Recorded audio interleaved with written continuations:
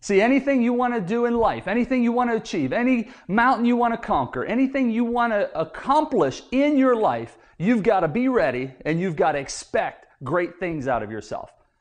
It doesn't matter if it's working a part time job or a full time job. It doesn't matter if it's in school and it's working an internship and an externship. It doesn't matter if it's personally, financially. It doesn't matter if it's in, as an organization or an individual. You've got to be ready and you've got to expect great things. I learned in Psychology 101 my freshman year when I played college basketball at the University of Cincinnati that you and I, human beings, we do not get what we want in life.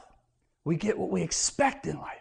So if you expect an average performance of yourself, if you expect average production, if you expect average results, don't be surprised. Because that's what you get, because that's what you're programming your unconscious mind for, and that's what your unconscious mind is directing you toward and attracting to you.